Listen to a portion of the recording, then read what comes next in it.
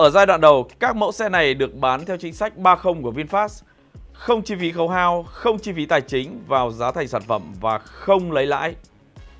Do đó, giá bán của các mẫu xe sẽ là 1 tỷ 136 triệu đồng cho VinFast Lux SA 2.0, 800 triệu cho mẫu sedan Lux A2.0 và 336 triệu đồng cho VinFast Fadin. Tất cả các mức giá này chưa bao gồm thuế VAT. Fadin sẽ có 5 màu. Mẫu xe Fadin được phát triển từ xe Karoq của Opel, thương hiệu ô tô Đức, theo hợp đồng nhượng quyền công nghệ từ General Motors. VinFast Fadin sẽ có 5 màu sắc cho khách hàng lựa chọn gồm đỏ, trắng, xanh, cam và bạc. Kích thước của Fadin không có nhiều khác biệt so với các mẫu xe hạng A trên thị trường. Về động cơ, VinFast Fadin có tùy chọn động cơ 4 xi lanh dung tích 1,4 lít, công suất tối đa 98 mã lực và mô men xoắn cực đại 128 Nm.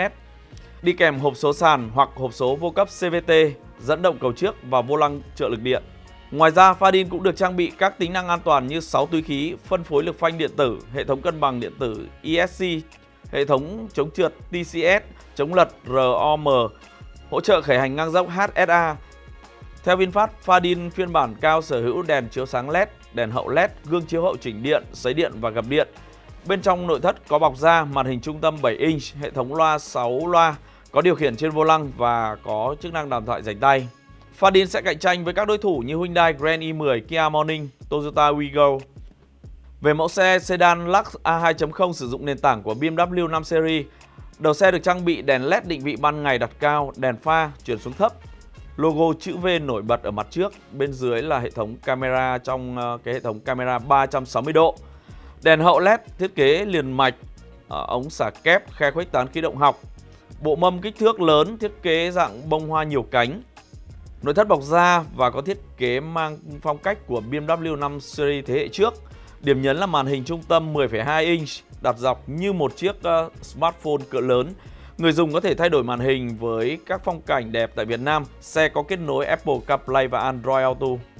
Cũng giống như những gì được chia sẻ từ đầu tháng 10, mẫu SUV VinFast Lux SA 2.0 được thiết kế theo form của BMW X5 thế hệ từ 2011 đến 2017 Trang bị đáng giá ở trên mẫu sản phẩm này bao gồm các chức năng như khởi động Start Stop, camera 360, kết nối Apple CarPlay và Android Auto, kết nối Bluetooth, hệ thống âm thanh Harman Kardon.